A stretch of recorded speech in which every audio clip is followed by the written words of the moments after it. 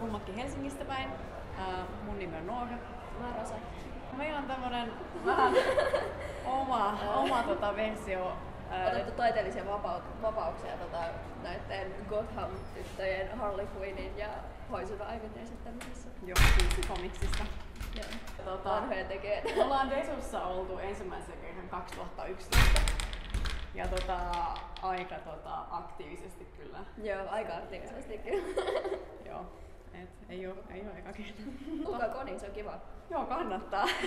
Teidän ihmiset on täällä, te viihdytte täällä hyvin. Joo, siis täällä on kauhean mukavaa porukkaa aina. Ja, tota, näkee tosi hienoja asuja ja muita harrastajia.